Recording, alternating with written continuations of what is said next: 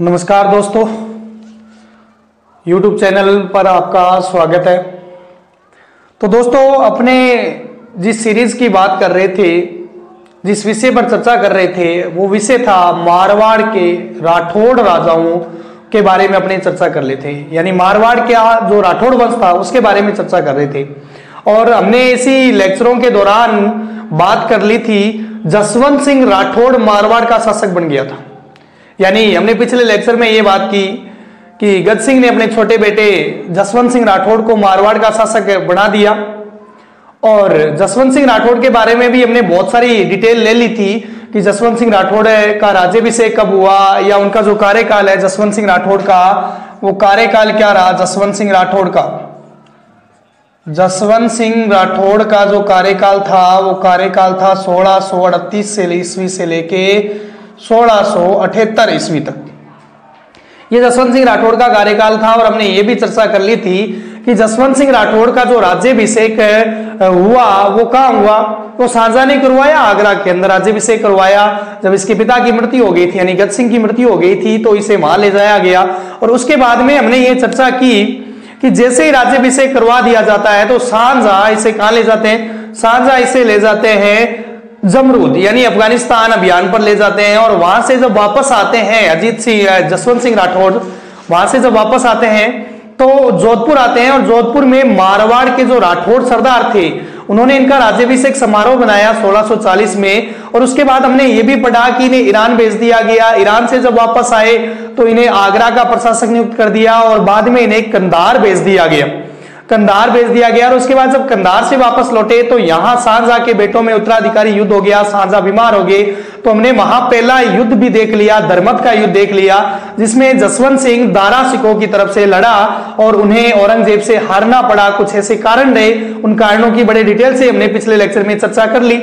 और उसके बाद में, वहाँ से हारने के बाद में ये जब जोधपुर जाता है तो इसकी एक रानी जसवंत दे जो दुर्ग के फाटक है, बंद करवा देती है और सत्य होने की तैयारी करती है और बाद में उसकी माता आती है, वो समझाती है कि क्या, किस प्रकार से उसे वापस जसवंत सिंह राठौड़ को मेहरानगढ़ दुर्ग में एंट्री दी जाती है। लकड़ी के थाली में खाना भी खिलाया जाता है। यहाँ तक हमने चर्चा की और इसके बाद में हमने ये पढ़ा कि बाद में औरंगज़ेब जब राज्यभिषेक समारोह मना रहा है तो वहाँ जसवंत सिंह राठौड़ को भी बुलाया जा रहा है और वहीं इसकी मनसबदारी भी बहाल कर दी जा रही है, वहीं इसे उपहार भी दिए जा रहे हैं।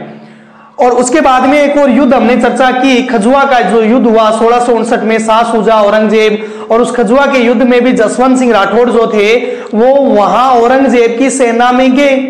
लेकिन 4 जनवरी एक दिन पहले ही मध्य रात्रि को 10,000 सैनिकों के साथ जसवंत सिंह राठौड़ ने औरंगज़ेब की सेना पर अटैक कर दिया और वहाँ से मारवाड़ की तरफ़ निकल आया। यहाँ तक पिछले लेक्चर में बात की और आज के इस वीडियो या आज के इस लेक्चर में अपने जो चर्चा करने वाले हैं मोटा मोटा रूप से मैं आपको बता दूँ कि जैसे ही वहाँ से मारवाड़ आते हैं तो मारवाड़ के बाद औरंगज़ेब और जो जसवंत सिंह राठौड़ थे, मारवाड़ के शासक या जोधपुर के शासक, इनमें मनमुटाव पैदा हो गया था और उसके बाद में क्या होगा? इस मनमुटाव को कौन फाइनली कंप्लीट करेगा या इनमें मध्यस्थता कौन कंप्लीट करेगा या मध्यस्थता कौन समाप्त करेगा? इसके बाद में हमने, अब ये देखेंगे कि जसवंत सिंह राठौड़ औरंगज़ेब की सेवा में चला जाएगा, यानी मुगल दरबार में चला जाएगा। तो स्टार्ट करते हैं आज का ये वीडियो देखिए क्या हुआ कि हमने ये पढ़ लिया था कि खजुआ के युद्ध से जसवंत सिंह राठौड़ कहा आगे? जसवंत सिंह राठौड़ आगे मारवाड़। जसवंत सिंह राठौड़ का आगे मारवाड़, यानी एक बार औरंगज़ेब औरंगज़ेब का जो है और जसवंत सिंह राठौड़ को लेकर क्या हो गया? मनमुटाव पैदा हो गया। और इसी बीच एक युद्ध और देखने को मिलता है। सांझा के बेटों में उत्तराधिकार को लेकर लगभग ये तय हो गया। धर्मत के युद्ध के बाद ये तय हो गया कि दिल्ली का जो मुगल बादशाह बनने वाला है, वो कौन बनने वाला है? दिल्ली का मुगल बादशाह ये तय हो गया, औरंगज़ेब बनने वाला है। लेकिन फिर भी अभी वेट किया जा रहा है। एक बार तो राज्यभिषेक करवा लिया, लेकिन फिर भी एक वेट किया जा रहा है कि उत्तराधिकारी दारा सिखों को घोषित किया है और दारा सिखों को अंतिम रूप से अब यहाँ औरंगज़ेब दोराई के युद्ध में पराजित करने वाला है। कौन से युद्ध में, कौन सा युद्ध हुआ? दोराई का युद्ध। कौन सा युद्ध हुआ? दोराई का युद्ध। दोराई का युद्ध कब हो रहा है? सोलह ईस्वी में दोस्तों, राजस्थान एग्ज़ाम की दृष्टि से ये युद्ध भी इंपॉर्टेंट हो जाता है। दोराई का युद्ध कब हो रहा है? सोलह ईस्वी में। किनके मध्य हो रहा है? औरंगज़ेब औरंगज़ेब और दारा सिखों के मध्य हो रहा है। औरंगज़ेब और दारा सिखों के मध्य ये युद्ध हो रहा है। ठीक है अप्रैल सोलह में ये युद्ध हुआ औरंगज़ेब और दारा सिखों के मध्य युद्ध हुआ। अब अपने बात करें कि क्या जसवंत सिंह राठौड़ वापस दारा सिखों के पास चला गया या दारा सिखों की सेना में चला गया या इस युद्ध में उसने कौन से ए, मुगल की सहायता की क्या औरंगज़ेब की तरफ़ से लड़ा क्या दारा सिखों की तरफ़ से लड़ा? तो देखिएगा अगर ख्यातों की बात की जाए तो ख्यातों में यह मिलता है कि दारा सिखों इस युद्ध से लड़ने से पहले जसवंत सिंह राठौड़ को एक पत्र लिखते हैं। जसवंत सिंह राठौड़ को एक पत्र लिखते हैं कि मेरी सहायता कीजिए। और लेकिन जसवंत सिंह राठौड़ ने जवाब क्या दिया? इसने कहा कि आप युद्ध को हार चुके हो, लगभग तय है, औरंगज़ेब मुगल बादशाह बनेंगे। और मैं तो एक बादशाह का सेवक हूँ। ये आप शुक्र मनाइए कि मैं औरंगज़ेब की सेना में आपके खिलाफ नहीं लड़ रहा। ये शुक्र बनाइए तो यहाँ से ये डिक्लेयर हो जाता है कि ना तो उसने औरंगज़ेब की सेना में गया इस युद्ध में, ना ये दारा सिखों की सेना में गया।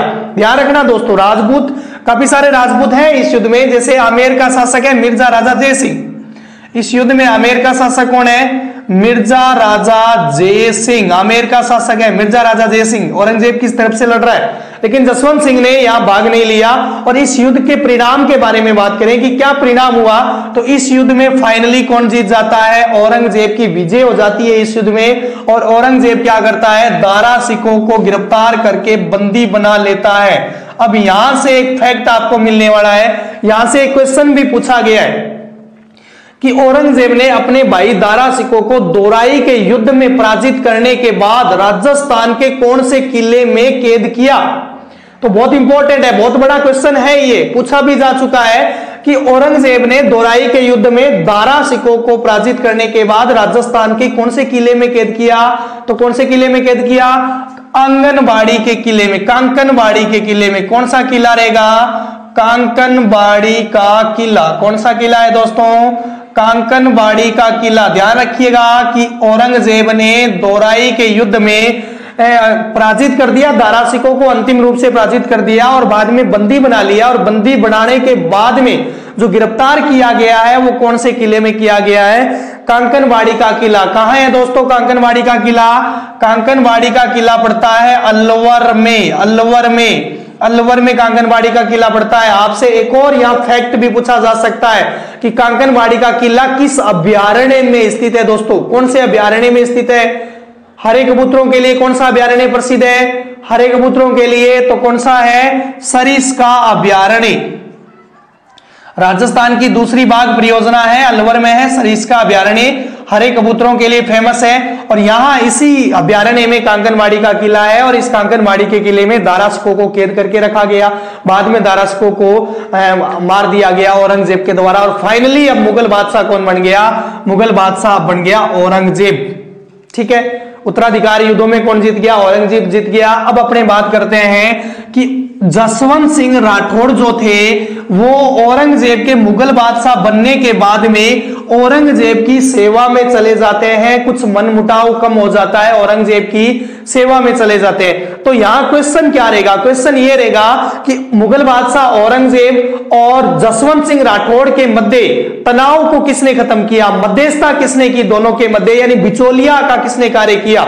तो ध्यान रखना जसवंत सिंह राठौड़ और औरंगज़ेब के मध्य जो मध्यस्थता का कार्य किया जा रहा है या तनाव को कम किया जा रहा है इन दोनों को मध्य तो वो है मिर्ज़ा राजा जय सिंह। कौन से आमेर के शासक कौन है? मिर्ज़ा राजा जय सिंह है। इन्होंने मध्यस्थता स्थापित की है जसवंत सिंह राठौड़ और औरंगज़ेब के मध्य। अगर आपसे क्वेश्चन दूसरी लैंग्वेज में, यानी लैंग्वेज चेंज कर दी जाती है कंफ्यूजन करने के लिए लैंग्वेज चेंज कर दी जाती है। अगर पूछा जाए कि जसवंत सिंह राठौड़ औरंगज़ेब की सेवा में किसकी सहायता से गया था? या किसने तनाव खत्म किया? वही बात आ रही है तो किसने किया है? मिर्ज़ा राजा जय सिंह ने। ठीक है, चले आगे। इतना क्लियर हुआ। अब देखिए, औरंगज़ेब की सेवा में जब जसवंत सिंह राठौड़ चला गया औरंगज़ेब की सेवा में जब जसवंत सिंह राठौड़ चला गया तो क्या हुआ? तो औरंगज़ेब ने जसवंत सिंह राठौड़ को बहुत सारे अभियानों में रखा। उसे फ्री नहीं रहने दिया। इससे पहले आपने देख लिया कि जब सांझा था तो बहुत सारे अभियान ये गया था। आगरा का प्रशासक, ईरान, कंधार भेजा गया। वही सिचुएशन वापस जसवंत सिंह राठौड़ की यहाँ आ चुकी है। अब औरंगज़ेब इसे बहुत सारे अभियानों में, जमरूद, अफ़गानिस्तान, काफ़ी सारे अभियानों में रखेगा। तो सबसे पहले मैं यहाँ बात करूँगा कि सोलह ईस्वी में सोलह ईस्वी में जसवंत सिंह राठौड़ को औरंगज़ेब ने क्या किया? गुजरात का प्रबंधक नियुक्त कर दिया। क्या कर दिया? गुजरात का प्रबंधक नियुक्त कर दिया। कहाँ का भाई? गुजरात का प्रबंधक। ध्यान रखना, आगरा का प्रबंधक इसे कौन नियुक्त करता है? साझा करता है। और गुजरात का प्रबंधक कौन सा मुगल बादशाह इसे सोलह में नियुक्त कर रहा है? सोलह में। तो औरंगज़ेब गुजरात का प्रबंधक नियुक्त कर रहा है। अब देखिए, इसी समय क्या होता है कि दक्षिण के अंदर, दक्षिण भारत में मराठा शासक महाराज शिवाजी, जो औरंगज़ेब के कट्टर दुश्मन बन चुके हैं, एक जोरदार तरीके से विद्रोह चल रहा है। औरंगज़ेब के साथ शिवाजी का और शिवाजी छापामार युद्ध पद्धति में बड़े ही निपुण हैं और मुगलों के एक एक करके युद्ध जीतते जा रहे हैं शिवाजी। और औरंगज़ेब की सबसे बड़ी समस्या इस समय महाराजा शिवाजी थे। तो अब क्या होगा कि औरंगज़ेब क्या करेगा? औरंगज़ेब अभियान भेजेगा दक्षिण भारत में मराठों को दबाने के लिए, महाराजा शिवाजी के विद्रोह को दबाने के लिए बहुत सारे अभियान भेजेगा। सबसे पहले भेजा अपने बेटे मुआजम को। उसके बाद साइस्ता खां को भेजा जा रहा है। साइस्ता खां जब वहाँ गया तो साइस्ता खां ने पुणे पर अटैक किया। पुणे पर अटैक किया। पुणे के बाद में चाकण पर अटैक किया। चाकण पर अटैक किया। लेकिन एंड में क्या हुआ कि ये जब पुरंदर की तरफ़ बढ़ता है तो वहाँ पराजित हो जाता है। और जब औरंगज़ेब को यह सूचना मिलती है कि साइस्ता खां महाराजा शिवाजी से बुरी तरह से पराजित हो चुका है, तब क्या करेंगे? जसवंत सिंह राठौड़ को औरंगज़ेब दक्षिण अभियान की तरफ़ भेजेंगे, मराठा विद्रोह को दबाने के लिए भेजेंगे, साइस्ता खां की सहायता करने के लिए भेजेंगे। कब भेजा?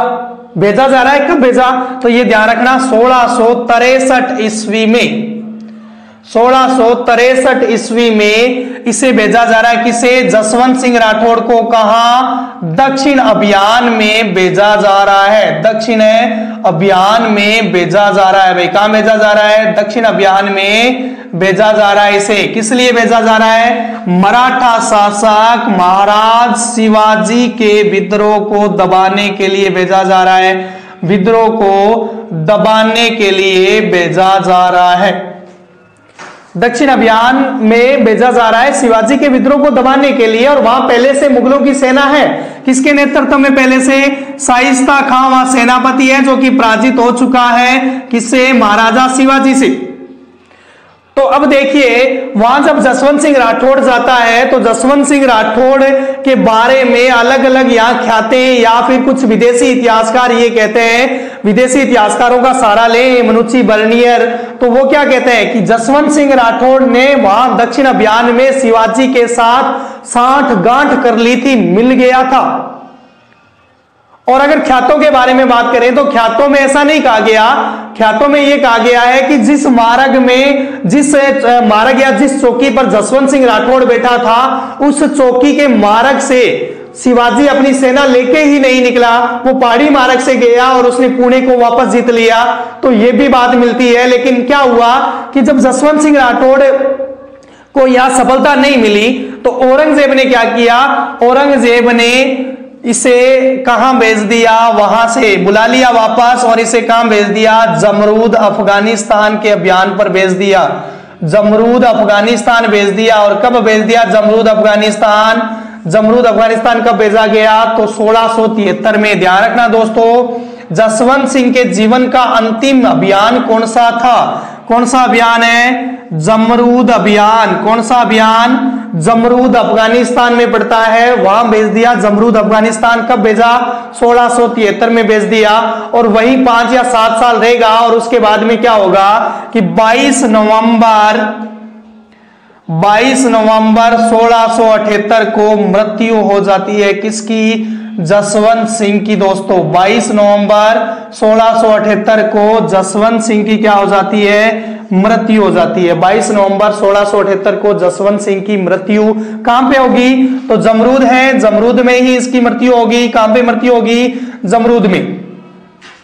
अब मृत्यु हो गई जसवंत सिंह राठौड़ की। तो अब एक बार अपने एग्ज़ाम की दृष्टि से कुछ इसके निर्माण कार्य या कुछ इस, ये खुद साहित्यकार है तो कुछ इसकी किताबें पढ़ते हैं और कुछ इसके निर्माण कार्यों के बारे में बात करते हैं। एग्ज़ाम की दृष्टि से जो इंपॉर्टेंट पॉइंट है कई बार वहाँ से क्वेश्चन आ जाता है। तो उस संदर्भ में बात करें तो सबसे पहले अगर बात की जाए तो ये एक अच्छा साहित्यकार था। अच्छा साहित्यकार था तो इसने काफ़ी सारे ग्रंथ भी लिखे हैं। तो सबसे पहले जो सबसे मोस्ट इंपोर्टेंट जो ग्रंथ है जसवंत सिंह का, या एक दो बार एग्जामों में पूछा गया है, वो है बासा भूषण कौन सा ग्रंथ है?